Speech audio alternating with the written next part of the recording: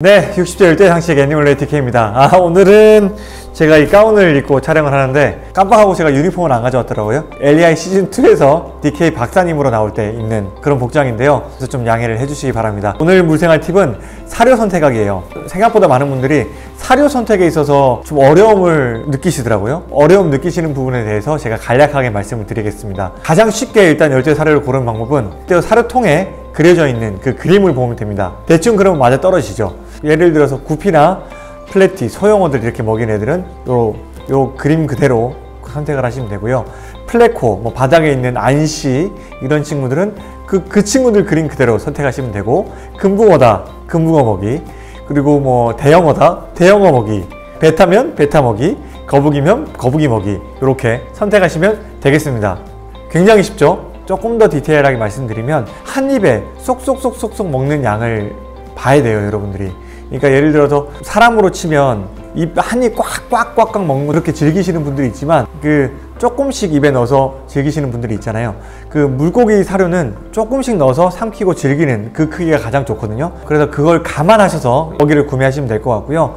어, 입 모양이 있습니다 열대어들은. 그러니까 구피나 몰리, 소드테일 플래티 같은 친구들은 입이 위에 있어요. 이렇게 봤을 때 입이 위쪽에 있는 친구들은 잘 가라앉은 것보다는 위에 떠 있는 먹이가 좋겠죠. 그래서 나뭇잎 먹이라고 하는 flake type의 먹이나 granule type 중에서도 물 위에 오래 떠 있는 사료가 좋겠고요. 물론 바닥에 가라앉아도 먹지만 이렇게 해서 먹어야 돼서 굉장히 불편하겠죠. 그래서 그런 친구들은 물 위에 오래 떠 있는 사료가 더 좋습니다.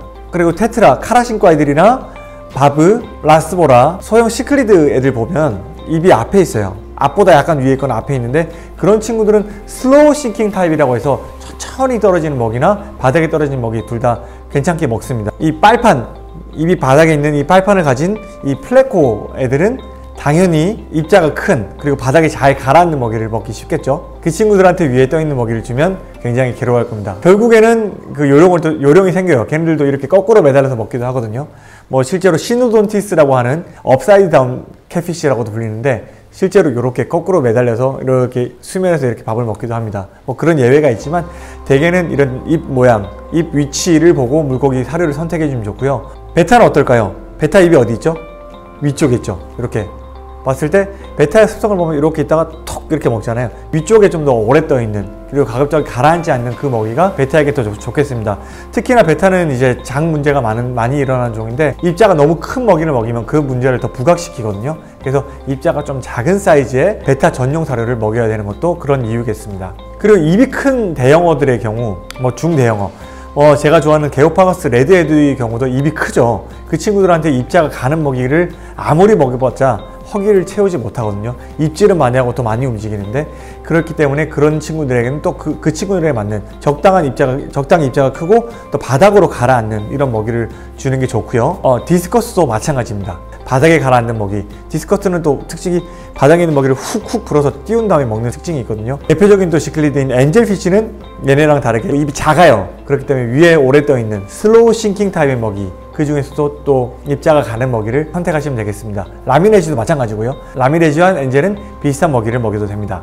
그리고 완전 대형어들, 육식 대형어나 뭐 아로와나 이런 친구들은 위에 떠 있는 큰 입자의 사료를 먹어요. 떠 있는 사료를 먹기 때문에 그 친구들의 사료를 선택할 때는 그런 먹이를 선택하는 게 좋겠죠. 거북이들도 바닥에 가라앉는 것보다는 위에 떠 있는 사료를 선호하는 친구들이 많거든요. 거기 맞춤형 거북이 사료를 이렇게 또 주시면 되겠습니다. 여러분들이 이제 어떤 성물이 더 들어가 있고 뭐 이런 것들은 확인하기 힘들잖아요. 그래서 최소한 그림을 보고 구매를 하되 내 물고기의 크기에 맞춰서 내 집 물고기 단계 크기에 따라서 그 물고기 그림이 그려져 있는 그 사료 중에서도 입자를 선택하시면 거의 실패는 없으실 거고요. 정말 그렇게 노력을 했음에도 내 물고기가 꾸역꾸역 먹고 소화가 잘 안 되고 목에 걸려있는 느낌이다. 그러면 사료를 빨리 바꿔주시는 게 좋아요. 나중에 장기적으로 그게 진행되면 턱 문제가 생길 수도 있고 소화불량에 걸릴 수도 있기 때문에 사료 선택은 굉장히 중요합니다. 그리고 여러분 수조가 대부분 여러 종류의 합사어를 키우잖아요. 가급적이면 한 가지 종류의 사료만 먹이는 것보다 두 가지 혹은 세 가지 사료를 준비해서 먹이는 게 중요합니다. 그러면 겹칠 일도 없고 경쟁할 일도 줄어들겠죠. 테트라 입 작은 애들한테 먼저 이렇게 위에 뜨는 먹이를 뿌려주고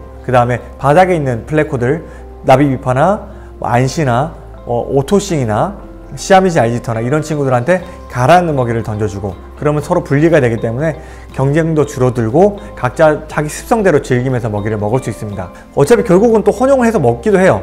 떠 있는 사료가 떨어지면 그, 그 바닥에 애들은 먹고 결국은 같이 공유를 하지만 처음에는 좀 떨어뜨려 줄 필요는 있다. 그리고 성분이 조금씩 차이가 있기 때문에 골고루 먹게 할 필요도 있다. 요 맥락에서 여러분들이 한 가지 사료보다는 두 가지 혹은 세 가지 사료를 섞어서 주시면 좋겠습니다. 저는 한 다섯 가지 사료를 이렇게 주거든요. 그러니까 여러분들도 꼭 한 가지만 주구장창 먹이지 마시고 두 가지 혹은 세 가지를 먹으시면 더 건강하고 재밌게 물고기를 키우실 수 있을 것 같습니다. 그 중에는 뭐 블루갈 발색 강화, 레드 발색 강화 이런 사료도 있는데 그거는 이 기본적인 두세 가지 사료 이후에 추가로 해주시면 더 좋겠습니다.